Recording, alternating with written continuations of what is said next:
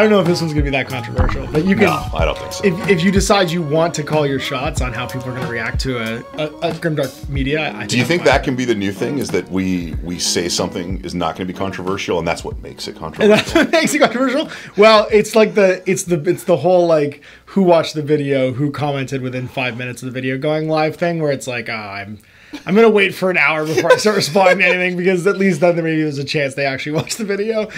Hey everybody, welcome to the Grimdark Media. It's Literature Week. It's us talking about something that was a piece of print material, and I got to print or I got to pick this one this week, which I'm very excited about. Uh, and you and I both read this prior to me picking. it. Yes. I had to reread it because I hadn't read it probably since almost right after it. Well, no.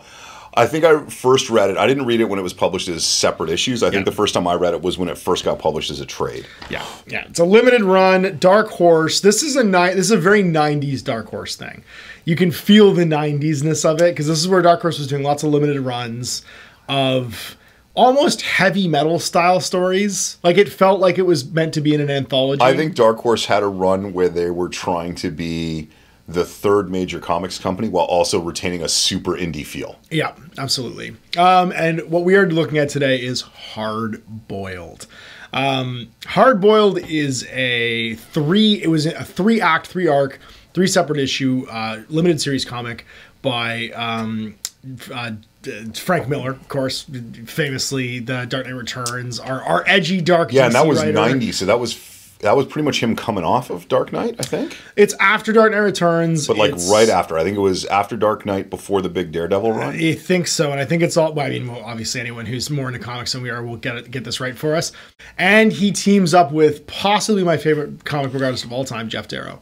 Um, if you know anything about my love of grimdark art, uh, I love anything with inc- where the artist basically gets to do almost as much story writing as the writer because of what they insert into the background. And I will tell you my personal opinion, and I'm not a comic connoisseur, so comics people, please right. don't We're kick my fans of comics. We're not connoisseurs. Please don't kick my head in. Um, I don't think, as well written as it is, I don't think this story would work nearly as well with a different style of art. Absolutely not. No. Like the art Nope. is a key part of the storytelling in this, and and again, I say that as somebody who doesn't follow comic book artists. Yeah, this is this is uh I think a match made in heaven. It's it's um it's- oh I can't remember Stewart's first name. It's uh the colorist is Dave Stewart. Uh, letterer is John Workman, and the logo design is by Steve Miller, not the Steve Miller of Steve Miller Band. I don't think it's that Steve Miller. I thought Steve Miller was just a blue electric horse. I didn't know that was a person. don't think it is. Uh, and this trade is published by Dark Horse Books. Original publication, just to get the years right, is uh, dated first publication 90, Yeah, was- 1990. I think it was 90 to 92 was the Is run. for the 1992 was the run, uh, and then uh, it was reprinted in 2017 and 2023 by Frank Miller. Uh, all characters prominently featured herein are trademarks of Frank Miller Incorporated and Jeff Taylor.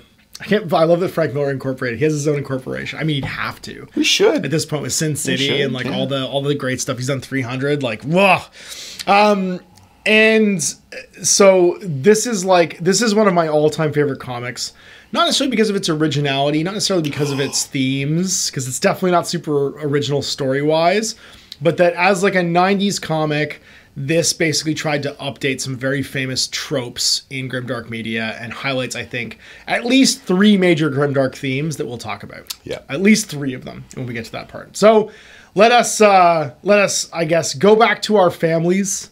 Uh, yeah, decide whether we are a tax collector or a um, Is that really your family? insurance adjuster. Are you sure that's your We'll family? talk to our dog before it lasers off some kid's face.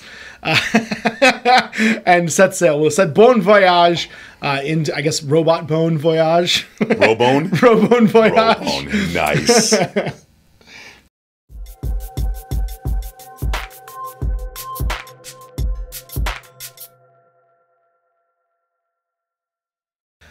All right, so this is the part where we spoil everything. If you haven't read Hard Boiled, I highly recommend grabbing the trade. I grabbed it just recently because it's back in print. It was 19.99 US or uh, 25.99 Canadian. Because our dollars are worthless. And support your local comic book retailer. And that's what I did. I went down to my local comic book retailer here in St. Catharines, and they were able to special order me a copy. It took about a week to get in, so it's great. This thing is still in print. Uh, it did win an Eisner Award. yeah. This one did, which I think is great. deservedly so. Deservedly and so. And I got to say, not to editorialize too much, um, I am not big on industry awards because I, I I've seen how the sausage is made. The Yeah. Eisner Award is is one of the most legit It is legit awards award, in yeah. in geek culture, nerd media, whatever you want to call it. Absolutely, it's in good company. I mean, Eisner Award winners are people like um, uh, what's his name from Calvin and Hobbes. Uh, shoot, now because uh, why can't we Are you talking about Calvin or are you talking about Hobbes? No, why can't we remember? no, no. That's that's all lately? that that's all that there is. kill myself for not remembering this name. Uh, yeah, anyway, it, we we have some incredible. I think. I think you're right. It's a legitimate award because Yeah, it is very much so. It's an on merit award and it's in good company. So let's go through. This is a three major acts. Each of these acts was published, and it's funny because this book actually does a really good job of dividing the acts. They do some of the covers um, interspiced there, and there's like a, a, a blacked out pair of pages to show the acts. And I think every year they completed one of the act arcs for this. Um, so 90 was the first act, 91 was the second act, and 92 was the third act, publication wise.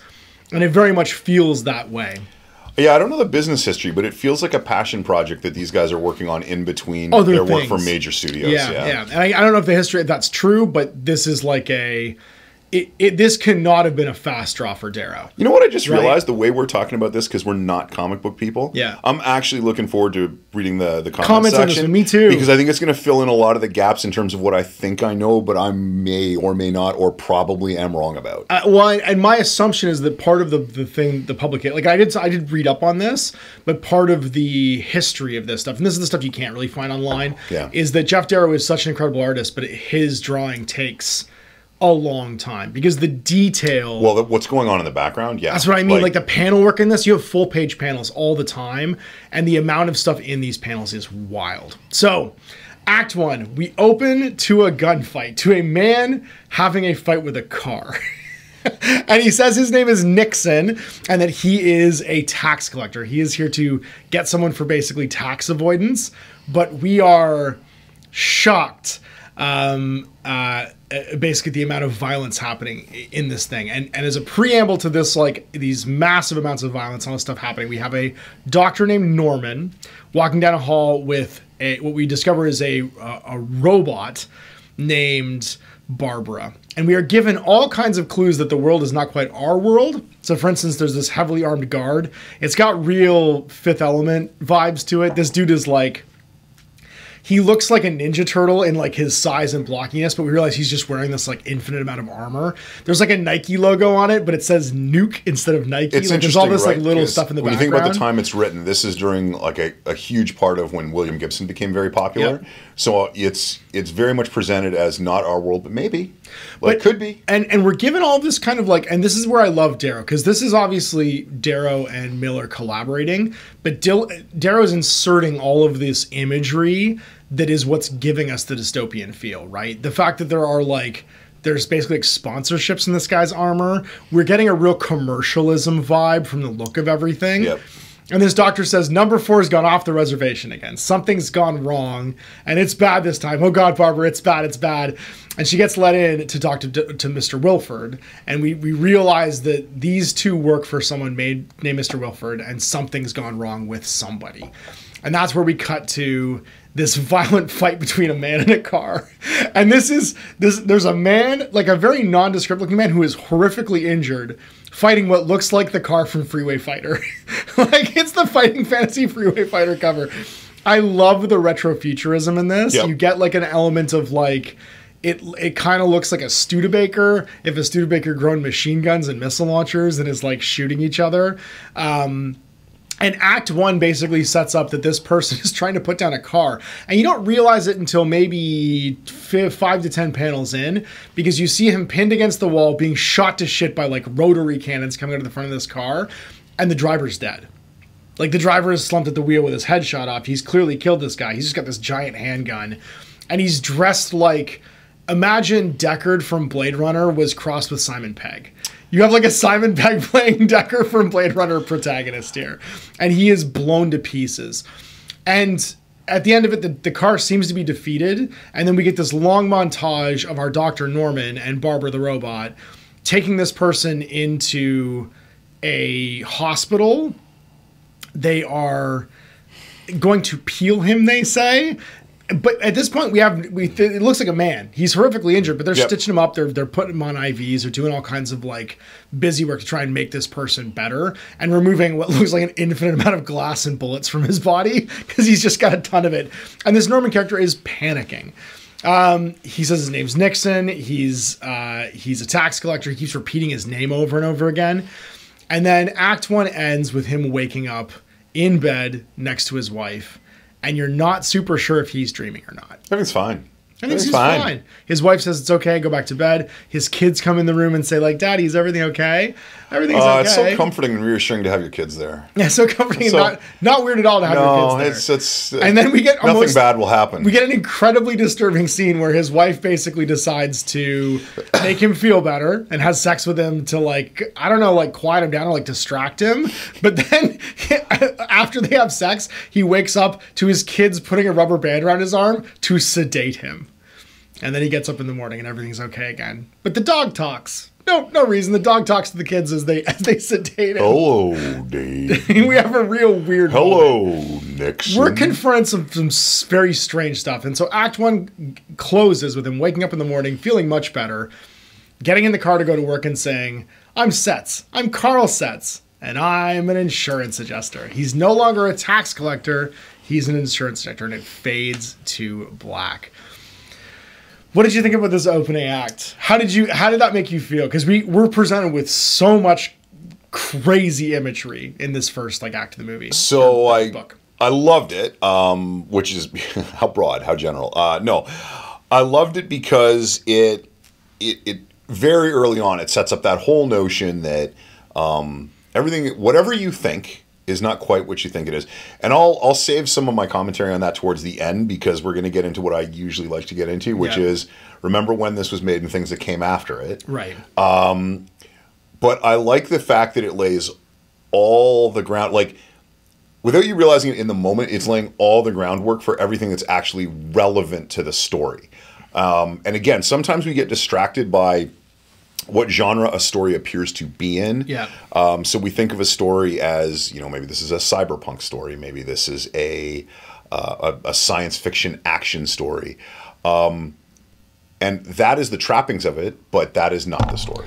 I think, and I think what's really interesting is so much of the storytelling is visual in this one, and maybe that's why it sticks with me. It's why I picked Astartes too. The dialogue is relatively confusing and minimal. The only time we get like clear dialogue and kind of like like exposition-y style dialogue is from these other two characters, Barbara and Norman, where we realize there's some there's some like alternate thing happening. But that dialogue thing is a thing that as you go through the three parts of the story, the balance changes. Yeah. And it's not that you lose any of the visual storytelling, it's that you kind of you you go very vague and shallow on that early on.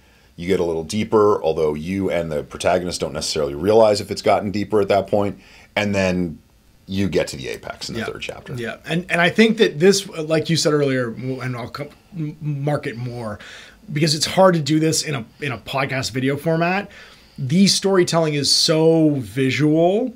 You spend so much more time looking at panel art and the backgrounds of this world than you do reading the dialogue lines because you can have full page like like pieces where there's only maybe like two or three lines of actual dialogue happening and you are just enthralled with what's happening in the background so Act Two begins, and we have uh, now his name is Carl Seltz driving in his car to work, and dude is talking to himself. And boy, howdy, he is like repeating the same thing over and over again, but then repeating it again with slightly different like like details. Yep. He'll say, "I'm a tax collector." Sometimes he'll say, "I'm an insurance agent." Sometimes he'll say, "My name is Carl Nixon." Sometimes he'll like say his name mixed up with other names. Yep. And then he notices he's talking to himself. I never talk to myself. Why am I talking to myself so much? I had a great dinner last night, but I went and got two burgers this morning and ate them. Like just these weird exposition details about his life that are contradicting themselves constantly as he goes on what we think ostensibly is his normal drive to work in Hollywood.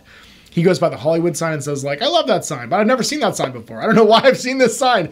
And we're starting to see that this person is breaking down. Yeah. He is having the weirdest day already, and he's literally just left for work with his kids and his wife. And you would bidding him goodbye. think after that much sex sedation that you'd be pretty chill, but no, he seems like and, and seems so like he didn't calm him down at all. Nothing calmed him down. He is he is short circuiting, and he's noticing he's short circuiting, and so he gets his call Interesting choice of words. to go to work. he did. He did. He short circuits a little bit. Um, and he gets in a fight with everybody's granny. And we're not really sure why he gets in a fight with everybody's granny. But there's a lady. She likes to be called Blanche, we discover, and a small child named Christy that he ends up in a high speed car pursuit with. And this person is indestructible. It is the most it is the most two people have dialogue with each other while fighting and killing what I what I have to believe is thousands of people. There are people like Darrow's background and Miller's dialogue lines in this are so jarringly contradictory because you are watching people just be absolutely annihilated through this conversation. Outside of an actual role playing game, I don't think you've ever seen such a delineation between a main character and an NPC. yeah. Because there are NPCs in the background that drop like pixels in an 80s video Oh my game. god, it's horrifying. And Darrow does such an incredible job of showing the collateral damage of this car chase and fight. What's really interesting is too, right before the car chase begins, um, I remember his name at this moment. His name is Carl Seltz at this moment. Decides to stop the cops from coming after him, and the cops. We have a highway of like we have like the 10 basically in LA, and we have this highway scene where the cops are driving what can only be described as like a mobile super fortress. And he and his like weird retro futuristic Studebaker decides to drop some caltrops. He gets Woodhouse to buy some caltrops, I guess. And I don't know, area denial weapons. and he detonates them on this super fortress. Like it's like the SDF one had wheels. And this cop, I don't even know what to call it, mobile fortress demolishes Castle? half the highway, kills half the highway before he sets off because he just doesn't want the cops involved Yeah. to realize. And his actions and his words are like totally at odds with each other. So the fight with Blanche extends into infinity, basically. They kill millions of people downtown in what's called the Pleasure Center. And we watch um, poor uh, Dr. Norman and Barbara having a conversation about how number four has gone off the rails again. And oh boy, howdy, is it bad. It's getting so bad. It's getting really bad. And halfway through this conversation, Barbara goes, I know it's bad. Don't worry, Norman, and just twists Norman's head off. Norman has the worst day. Yeah. He just he's just trying to get to Mr. Wilford to tell didn't him it's that guy. that again. We need that guy, everything's fine. He Turns his head around backwards, and Barbara nonchalantly drags him to the bathroom and starts stuffing him down the toilet with a plunger. It is cognitively dissonant. She also has an interesting conversation with another employee in the bathroom while she's stuffing this guy down the toilet, and you're not really sure what's going on Yeah. anymore. So cut back to our fight scene between uh, uh, this this now horrifically injured Carl Seltz and Blanche. And you and he realizes Blanche isn't human, that she's a robot, but she's still kidnapped this girl Christy, and he's trying to rescue her. And he's saying all these weird things, like little girls should have whatever ice cream they want, even if it's pistachio. He's losing his mind No little girl has ever wanted pistachio ice cream. in in the history of anything. Get rid of that. in the history of anything. That's how you know something's really wrong. the pistachio ice cream comment. Um, they're having a fight through the the pleasure district, which is just this bizarre, like orgiastic punk rock late '90s punk or early '90s punk like vision of the future. These pages brought to you by the producers of Heavy Metal Magazine. it is it is very heavy metal for a minute. Um, and they end up in a junkyard. There's like a nuclear explosion uh, of this car detonating. Blanche seems to be horrifically injured, maybe dead, and Carl discovers that he is there's something wrong with him. He has robot hands and a robot face. And for the first time we see Carl kind of as he actually is, which is part machine and part man. The fight extends into a junkyard. He discovers a talking dog who's he's just talking to for no reason. Hello, There's a lot of David and Goliath happening here, and he starts referring to himself as a again a jumbled version of the names he's called himself previous. Now he's like Carl Nixon, um, and Blanche starts to call him Nixon.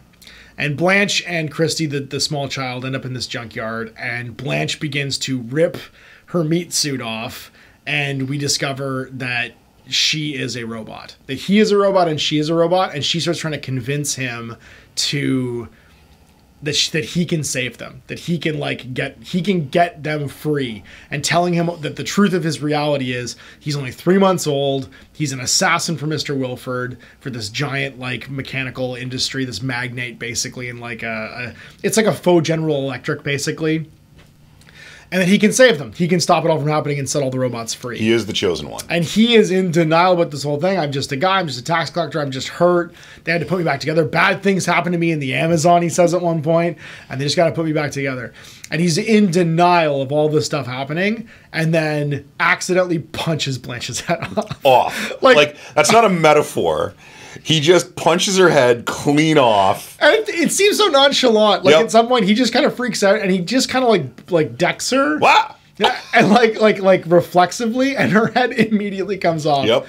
And so Christy starts saying, "Oh no, you you killed her. She just wanted to help you, and you killed her." And we realize the little girl too is most likely also a robot. Yes. She was never just kidnapped to like No. get his attention. Um, If only there was a way to deal with that. And the dog looks at her and goes. You're just a malfunctioning piece of equipment, and laser eyes her face off. And so both of these You'll people, never look at your dog the same way. Oh my god, again. this little like bull, this little British bulldog just lasers this little girl's face, her head completely off, and we realize she was also a robot. And so now we see for the second time, uh, Carl Nixon, whoever this this robot is, now breaking down, and he flees the scene, and this ends Act Two. Act Two ends with him leaving, and that he is now a robot, and he is now fleeing to try and find some answers. what did you think about Act Two? So um, again, visually, No, it's so hard to describe. just amazing. Yeah, like it's the the visuals of it are when you when you hear them being described, they just sound ridiculously over the top. It sounds super self indulgent. Um, but when you're actually reading it and, and absorbing it, it's super fulfilling. Like it Yeah. is, it is the some of the most effective visual storytelling I've ever seen. It's fantastic Yeah. obviously the the thing that as you get to the reveal that you probably at some point through the chapter saw coming um, at the end that's when all of the uh, the bits with barbara and um, Norman. well i was just going to say flush down the toilet man um, that that context starts to, to snap into a sharper focus Yeah. so you you already feel like even though you're only at the the two thirds of the way through point end of act two um, you feel like a lot of the storytelling is paying off and what's interesting about it is it's very juxtaposed with that notion of the self-indulgency of the visual storytelling because you realize no no no there's a point to all of this. Like it's not it's not just uh, for lack of a better way to put it art for art's sake. I felt like doing this so it looks like this it feels like this. Like there's obviously one continuous thread running through the whole thing. And I think that's the important thing to note is Act Three now opens, and we have our our favorite bulldog, this nameless bulldog who's lasered off this this small like robot child Christie's face, tailing uh, Nixon, who we're just gonna call Nixon from now on because that's the name that the robots are calling him. Um, onto the subway. People are fleeing from him. He's like accidentally hurting people, trying to get like a disguise.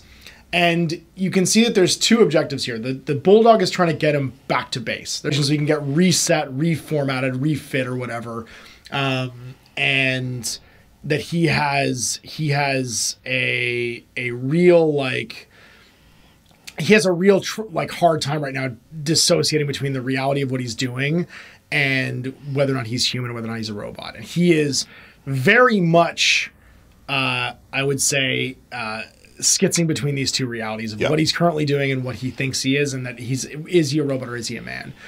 And the the dog is constantly trying to convince him. And you have a real kind of Davy and Goliath moment, like Oh, totally. to, where the dog's trying to tell him one thing while he's doing something else. He gets on a subway train, and we keep flashing back and forth between Barbara and the the the happenings on this train as to will they get him back to base. And I do think the the valuable learning moment for everyone in this should be that in, in your own life, if your dog is telling you to do things, maybe just take a step back. Just yeah, Just take a step Just back. one, just maybe like take 10, 10 breaths. Start some box breathing. Like get some box breathing going. Uh, and so we have the um, we have this like moment where you realize they're traveling, and we actually cut away pretty significantly. And this is where most of the violence between Norman and Barbara happens. And Barbara is kind of advising the other humans on site, the doctors, to like prepare for his arrival. And you realize that she also has a separate agenda. That she must be part of this like robot conspiracy. And so at the end of Act Three, when we finally flash back to Nixon having arrived, we watch Barbara walking through the collateral of Nixon's arrival back at Wilford Industries. And there is, if we thought a lot of people died between in the Blanche and Nixon fight in Act Two, in Act Three, I think every employee in this building is dead. Yes. They've all somehow been like summoned to try and stop his arrival, and he has killed literally all This of is them in the most this is video game way. levels of clear every room so there's nothing left behind you as you move forward. I don't know how many people are actually working in this place, but there is a carpet of bodies. Not as many as used to. Yep, absolutely not. And that Nixon is capable of basically being unstoppable because soldiers are dead, automated defenses are dead, everything's blown up, Yes. everybody's been destroyed. There is no happy ending for any of these humans. And then we finally cut to Nixon. And she said, All right, fine, uncle. And Nixon is being held by Mr. Wilford himself, who he's clearly trying to assassinate. And we discover Mr. Wilford is basically Baron Harkonnen. He's we've seen him like in flashes throughout the comic so far, but he is like 600 pounds. He is this enormous whale of a human in like a life support tank, and he seems completely like almost unaware in most scenes as to what's happening. He never speaks. He's Jabba the Hutt, Mr. House. Yeah, he is, and he's just kind of plugged into all these support systems, uh, covered in his harem sometimes. And in this one, he is driving, I guess, what is the Apex Kilimajig car, and it is just holding what's left of Nixon up. Nixon is shredded, maybe is the best word. He looks like he's been put through several ringers Disassembled. not even disassembled. he's still talking but he is hanging together by threads and he says fine i give up i just wanted to see just put me back the way i was. And he gives up. He just gives up the ghost. He decides i should have known he says i, I should have known if you could make me you could unmake me. He's accepted that he's a robot and he's clearly tried to perform the robot agenda of killing mr wilford and setting all the robots free. And mr wilford has just almost casually he's sipping a big gulp while he does this in his like super robot death machine chair taking nixon apart. And we just kind of fade to black for a minute. We see Barbara, and I'm not. I'm, this is the one thing I want to know what your interpretation this because I'm not really clear what she's doing. She hooks herself up to the power to the people meter, and then I'm not sure if she uploads herself or if she's electrocuting herself or if she's whatever happens is she turns it all the way to the top, plugs herself into it, and then is shocked multiple times or something, and then collapses. And there's just like a, a, a dial tone at the end of it all. I'm not really sure what happens here, but that's Barbara basically seems to either given up or enacted some kind of out plan. It's a weird moment because it's it's I still struggle to like She was try- clearly the inside man. Is yeah, the one thing, right? I'm trying to analogize what she is. Yeah. And when I'm trying to analogize what she is, my question is: Is she is she the queen bee? Mm-hmm. Is she is she resetting the hive, as it were? Yeah, is she the rogue AI in in, Des- in Ex Machina? Yeah. you know I mean, is she the is she the Ex Machina robot that gets away? But it's uh, yeah, I'm I'm not clear because and which I love. I'm not I'm not clear because the story ends shortly thereafter without resolving it, which I think is great. Mm-hmm. Yeah, I it's think fully ambiguous. yes. Yeah, absolutely. There's a lot of ambiguity as to what happens to Barbara. But then our final panel frame is Nixon, now back to his Blade Runner Simon Pegg form, knocking on the door of his house, his wife opening and say, saying, Okay, I admit I was worried. When you know that she's like a sleeper agent for Wilford that's like just there to control him, and him being like, I told you it was a long day, but it was okay. And he comes home and he kisses his wife. And that's it. And What a happy ending. and it's just a happy, What a happy ending. ending. He's just been he's gotten uh he's gotten his um his uh what's the guy from the Matrix just wants to be plugged back in. He's gotten his Cypher. He's gotten his cipher ending basically. Why He's did uh, back in. Why did he get a happier ending than Tom Hanks in Castaway? I don't know. That's weird. I don't know, but that that's that's our summation is that we go full circle and that even though this guy is basically a corporate assassin for Wilford Industries robot and has killed like Everyone. I, I would say like Just uh, everyone. Like half of LA is dead. Yeah. Be, be- like in the last two days from this assassin robot. Um, we've given the like we were showing basically that the police chief's been paid off, that the news has been paid off, that no one's really going to notice these hundred thousand dead missing people in downtown Los Angeles, um, and everything just goes back to the way it was. Yeah. At the end of it all. You just hit the reset button. Yeah, absolutely. So that's it. We've we've we've ended our voyage basically through this storyline. We're back at the beginning. We get to go and eat some meatloaf or some pot roast or something like that, and hang out with our wife and kids and talking dog. Uh, and we arrive, I guess, in the pleasure the pleasure district of LA, and we get to look at all of the uh, all of the strange the strange offerings. I'm in the pleasure district hanging with my talking dog. do I? Yeah, Everything's right. fine. Do we, want, do we want to go to the the, the the the robot peep show, or do we want with Bender and all of the weird Futurama people, or do we want to go to the robot peep show gift shop uh, and uh, and find out find out what's happening here in the dark exhibition?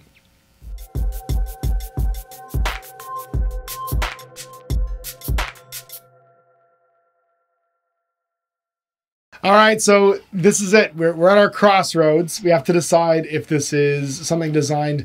Has this has this as a creation met our criteria for still being art, or is it going to be uh, a product? Is this something that was for sale to people?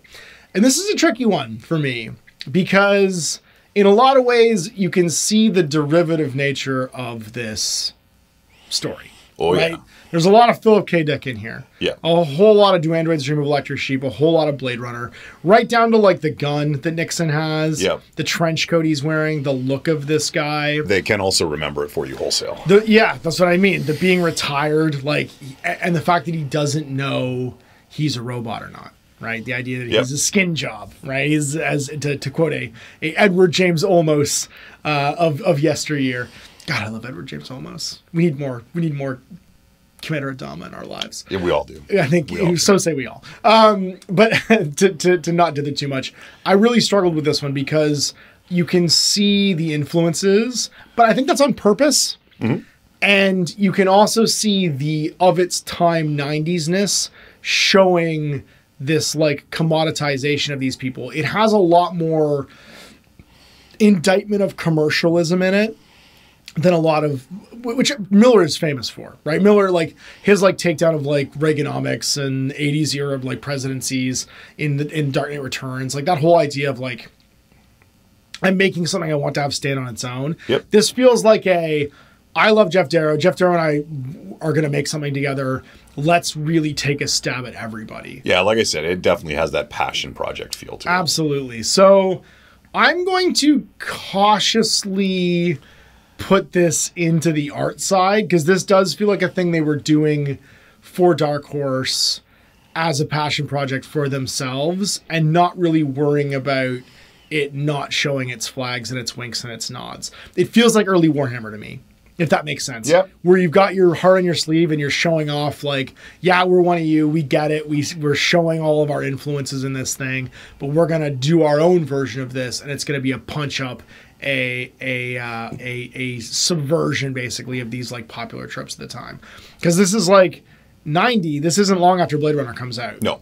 right blade runner's what 80 84, 86, somewhere. no. Oh God, why don't we know where Blade Runner came out?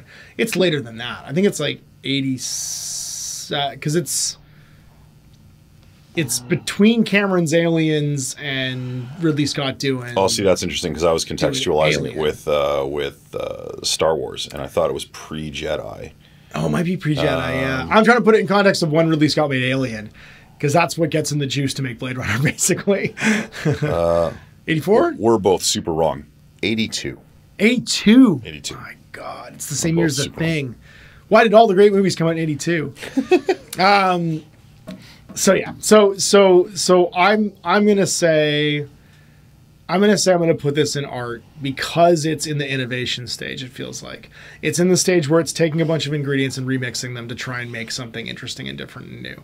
Uh, and it's eight years after Blade Runner, so Blade Runner's firmly in the zeitgeist, and you can't ignore that that influence on this stuff. It, it has a bit of Akira in it too. Like you can feel the art style with that like those those big pan shots where Darrow's drawing Darrow's drawing the subject matter of the frame being the smallest thing in the frame, which is really interesting. Where you have these like really punched out shots, and the dialogue and the action is happening in maybe a tenth of the frame. There is a ton of world building that's happening with no verbal exposition. Absolutely, yeah. Through signage and small actions and side characters, like I cannot imagine how long it took Darrow to draw some of these panels Right. because they are crazy detailed, like wildly detailed, and there's so much going on. For there's so much visual storytelling happening in the background of them, and that's why it's so hard to do this justice as to how impactful it is when you actually read it. So I think I'm going to put it in our. What about you? Uh, well, I'm going to break with tradition. So Okay. obviously, usually uh, I sit down here, and my only goal is to annoy people who watch your videos. Okay. Uh, instead, I'm going to annoy you. Okay. And in uh, on the question of is it is it art or is it uh, is it product? My answer is yes. It's, oh, you're going to put in between both. it's oh, that's both. really It's interesting. Hundred percent both. So, on one hand, I you can't deny the art of it. Yeah. And I, I don't think you can deny the fact that there is an uncompromising integrity to the art that's being done. Mm-hmm. There's a lot of choices that could have been made that would have been shallower or safer to appeal to more of a mass audience. And I feel like those things weren't done to maintain the integrity of, of both the artist and the author's vision. Having said that, um, it doesn't just wear its influences on its sleeve. It feels like both of these guys sat in a room together and said, I bet we can do Philip K. Dick better than Philip K. Dick. Like there's other bits and pieces in there's other bits and pieces in there. Yeah. But the amount of the amount of I'm going to take this scene from a Philip K. Dick movie, this chapter from a Philip K. Dick book, and I'm just going to redo it using the medium of comic art and mm-hmm. comic writing. It's it's completely transparent. Like it's if this is one of those things that I, I think if you want to analyze it, the best way to do it is to read it twice in rapid succession. Mm-hmm. Read it the first time and just take it for what it is. Yeah, take it. Absorb it for what it is. Enjoy it. It's fantastic. And then the second time, go back through it, already knowing where the story is going, so you're not tied to up to up in, uh, in up it. Oh my God, new words today. Tied up in it too much. Go back, reread it, and as you do, stop it like literally every other panel and think, where have I seen this before? And again, this is tricky when you're looking at time because this is from 1990. Yeah. And some of where you think you've seen it ago. before, you've seen it since Yeah. because not only is the stuff that it drew influence from um, hugely impactful on what we're making today, but so is this. Yeah. And I think that's something we forget is a lot of people making, especially movies and television shows these days, they were comic fans when they were younger. Sure. And and this may have been their exposure to a lot of this stuff earlier. But anyway, when you when you break it down and read it, it is hard not to see all of its influences like very front and center. It does feel very wink and nod at the camera. Yeah, I Um, can't imagine that this didn't have the Darrow's art didn't have some kind of impact on Fifth Element because like the cops in Fifth Element look like the the PMC soldier cops in this one. Like there's a bunch of like things where it looks it, it looks like it's it looks like you said it looks like something that came later where it's like oh this had to have come from Well, and it's funny because one of the things you mentioned is that he has his Cypher moment. See, I when I saw the Matrix for the first time, I thought this was Cypher having his Nixon moment. yeah yeah yeah yeah absolutely So I think it is. It's not even slightly more one or the other. It Mm-hmm. feels like it's right down the line of art versus product. crazy. Well, I, I I like that answer as much as I I think you're you're a coward. Feel free. I am. I am a. I am a blue suited uh, politician in the world of Futurama. That's right. Yeah, you're neutral. Don't vote for Jim What Johnson. Vote for John Gibson. What does it What does it take to make a man gray, Kif?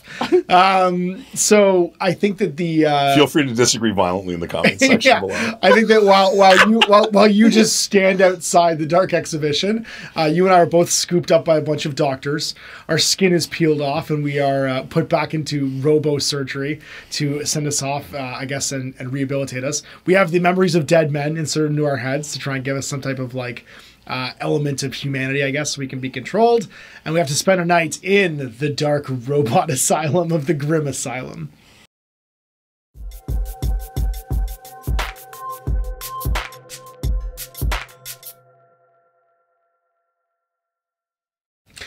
All right, so in the Grim Asylum, what we do is we pick what we think are the major, the majorist grimdark themes, um, and how they presented in this piece of grimdark media. I only had three this time, and and to me, those three, I think, are the overriding reasons why I would make this a piece of grimdark media. Um, and the first one, obviously, is going to be setting the dystopia of this setting, and it's funny because Miller doesn't communicate that at all. It's Nope. all Darrow. Yeah. Darrow is the one that hammers in all of the things happening, like the street scenes where there's just like sex and drugs and rock and roll happening. The fact that like you have all of these like not horrific, but like clearly chaotic moments in the society visually just like projected into you. I think it's interesting because I agree with you 100%. And what I, I find funny about it is if this was a traditional novel instead of a visual novel, I think the blanks your mind would fill in, you would assume this was a post apocalyptic society. Yeah. Whereas when you have the visuals, it's clearly a dystopia. It's clearly it's clearly a commercial dystopia. Yes.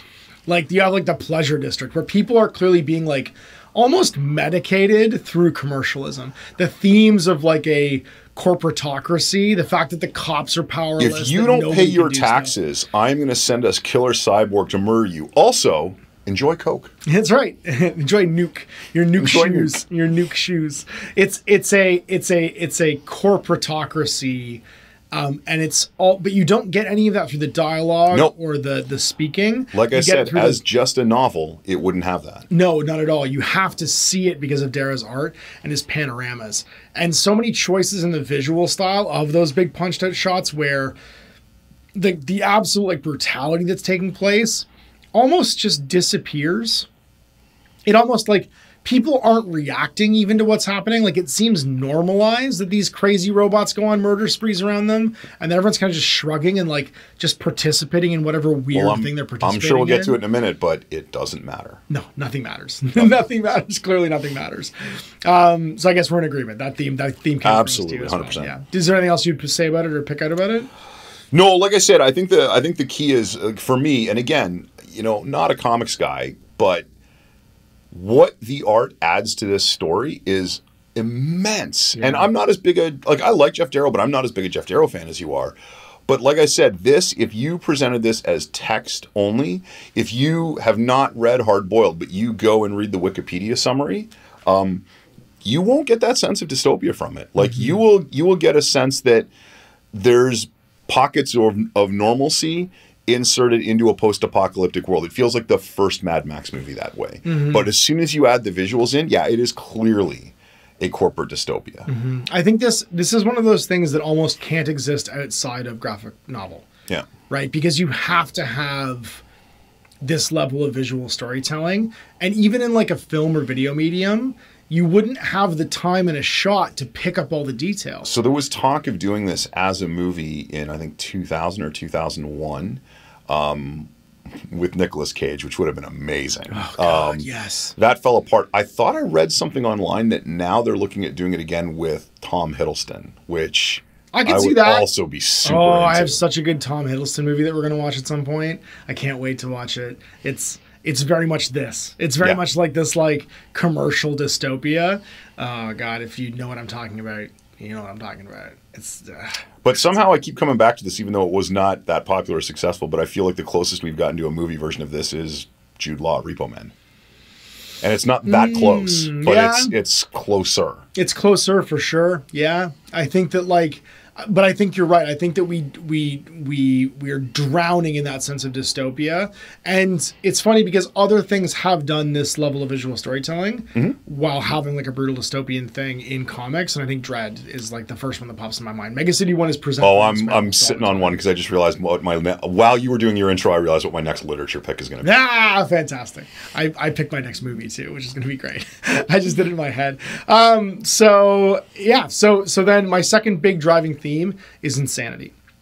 It's the emotional palette of this thing, and it's that they the the the lack of equilibrium. You are, and this is this Miller does this. Miller is able to communicate this through his dialogue and his internal monologuing coming out of Nixon all through this, where he is clearly going through like you realize what it is at the end where he is cycling through the memories of all the dead men that have been implanted in his head because he doesn't know who he is and that's all he has to go on. And wherever they rub up against each other he is spitting that fact out to try and see if it holds water or not and then noticing where he's contradicting himself. Because the memories are just coming in waves and it seems like he's just saying them out loud because he can't help himself. And you watch him go insane trying to hold all of this stuff together in his head at the same time while his body is performing actions he can't really rationalize or ratify and that feeling of schizophrenia bleeds out of Miller's dialogue through all this stuff, which I think is great because you're internalizing it yourself because you're having to go through the process of trying to rationalize all the things you're reading. And you can't. You can't hold all these contradictory facts together. And it's never beaten at you. It's just presented to you, and your own brain has to try and sort it out the way you feel Nixon's brain trying to sort it out. And the moment where you realize his identity is completely fractured is when he keeps he says the a wrong name at the end of Act One, and you start to piece together like, oh, this person is losing their mind. What did you think about that? Well, so that's interesting. So I um, I would not have chosen insanity. Okay. Um, and it's not because I actually disagree with anything you say. And this is so it's funny. I feel like this is the philosophical question that's been asked in science fiction for decades now. But what what is a person? What is a soul? Right.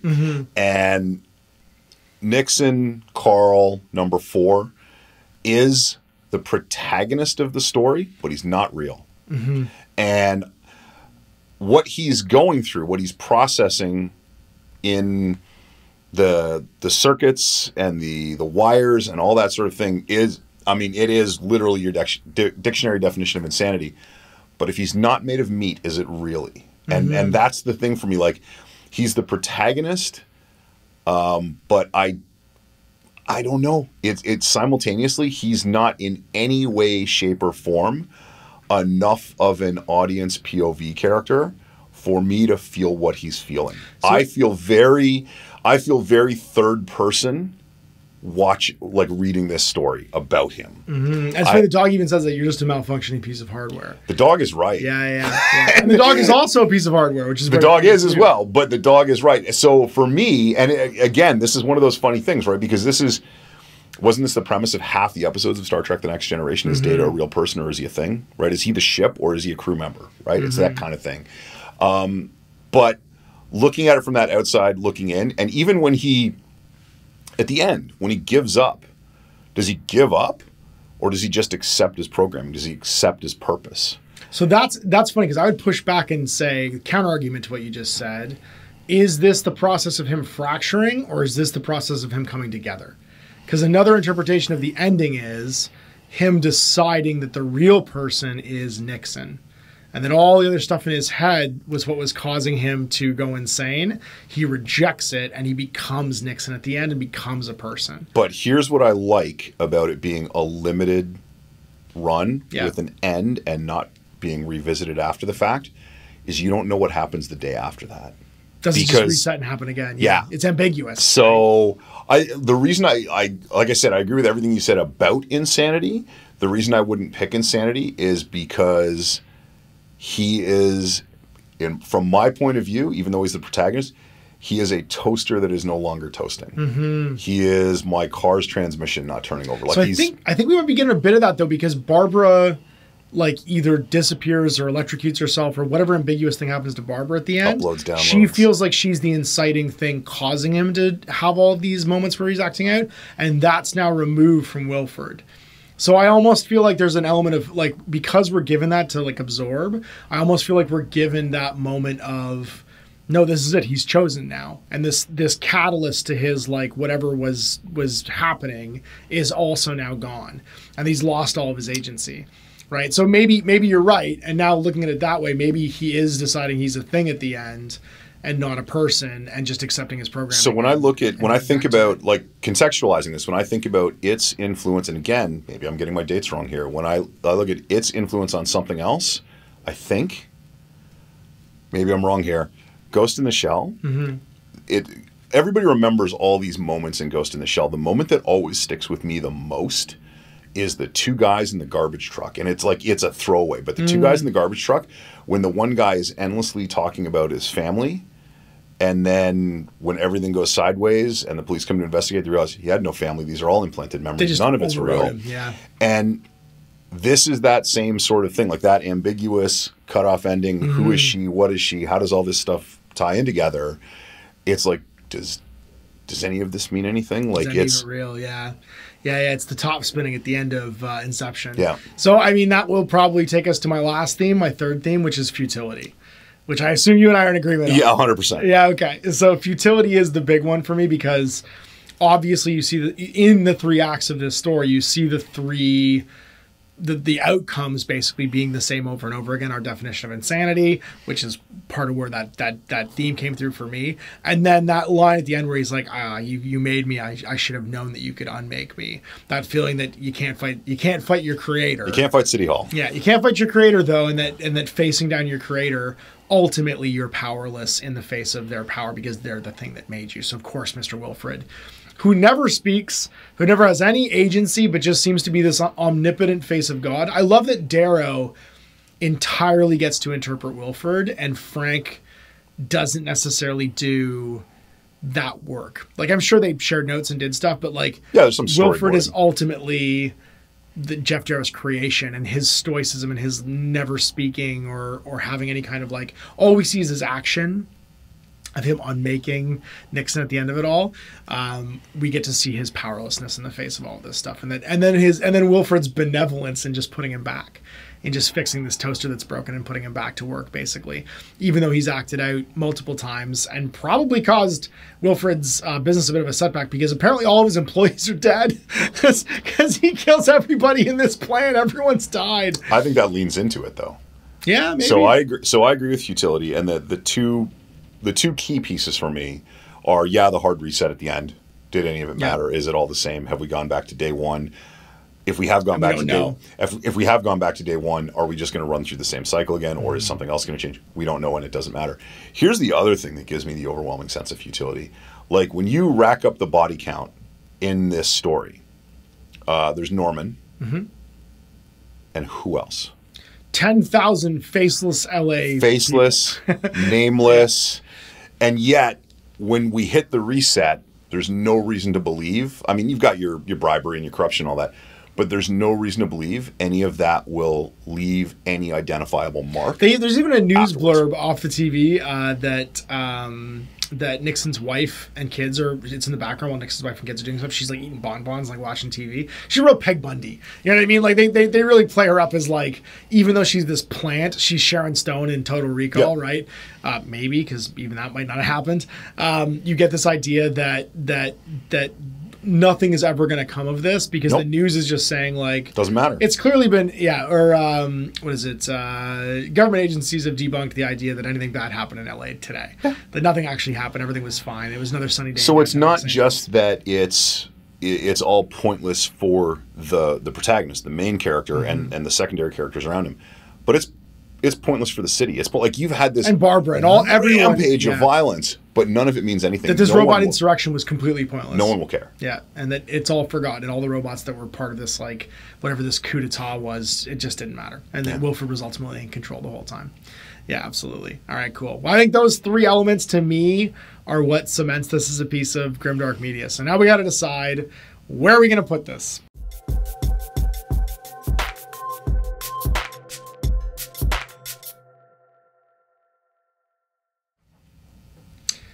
All right, Throne of Skulls time. We have four things on the list so far. Where did you put this in our rankings of grim dark media?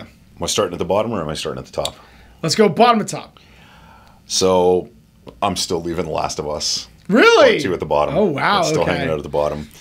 Um, I would actually make this third on my list of four. Okay. Um, so it is uh, thematically, it is very grim dark, Mm-hmm. um, but it doesn't it doesn't reach the levels of hopelessness. Mm. Um, and and infinity, I guess that I would put the two things ahead of it. Sure. So I'm still going to go with my number two spot is Event Horizon. Yep. Fantastic. And my number one spot still going to be Call of Cthulhu.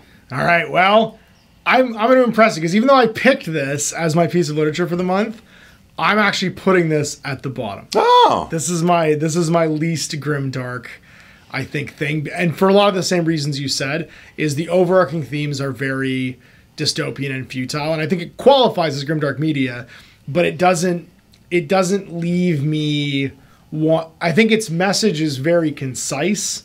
And it doesn't leave me wanting to know more about this world and this universe. It's a very satisfying, consumable piece of grimdark media.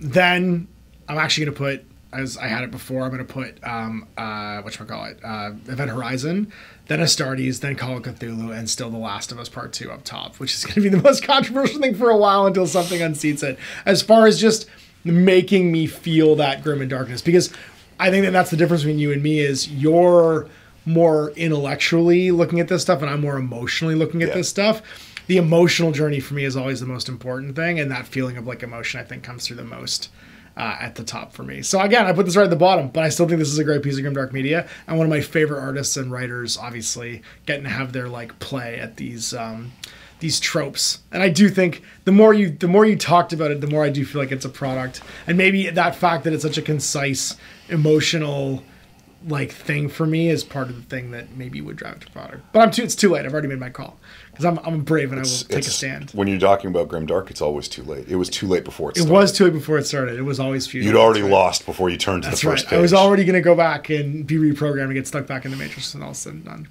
So there it is. We did it. We did our piece of literature for this month, uh, and we are on to game media. And this was our patron-produced piece of game media, which I'm you'll see stoked next about this because I would never have picked this, and it's an amazing selection. I think it's an amazing selection too, and it's kind of surprising. We are doing Rangers of Shadow Deep for our game media for next month and or next week, and I am actually really pumped for this one. I love Joe. I love his creation, and I do think this qualifies. It's going to be interesting to break it down. Cool. Yeah, I'm super excited about doing it. I and I haven't I haven't uh, I haven't rolled dice in anger on that game in over a year, so I'm uh, yeah I'm I'm stoked about going back into that I'm world. pumped for it too. So what I'm going to be doing for next week is I'm actually producing a Rangers scenario for United Play, which they'll see the same week as playing through it, and that's going to be a piece of patron exclusive content. They'll be able to download the scenario and play it Cool. themselves if they want, uh, and you and I will get to throw down with accidental Batman. I don't know who your Ranger is going to be, but Yeah, Bryce gonna- Bryce Blaine is coming out for all these things from now on. He's Do gonna be I- my, my main protagonist. Do I paint a clown? How many times can you kill? Oh my god. No, you have to paint a Superman. You have to paint a blue. I have to you paint a to you have to paint an alien. You have to paint an alien he's best friends with, but also hates, and is is plotting to kill at any moment. Why do you hate me so much? I'm just better than You you. need a blue and red ranger. That's right. Blue and red Boy Scout. Martha, blue and red boy scout. Oh, it's a perfect idea. I love this idea. This is why people hate us. This so is why people hate us because we just do it for the memes. Well, thanks for watching, everybody. We'll see you next week for our next Grimdark Media. Peace out. Adios.